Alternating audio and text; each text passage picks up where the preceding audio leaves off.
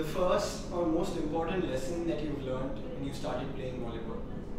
I think that you have to you have to get better every day. Even top tier athletes, if you're not getting better, you're getting worse. Is something we say. And there's everybody in the world can get better at something, some aspect of volleyball. You can always improve on, whether it be setting, digging, passing, anything. Like maybe that's something I don't do in my position, but to become the best athlete I want to be, I need to be able to do those things and work at that every single day.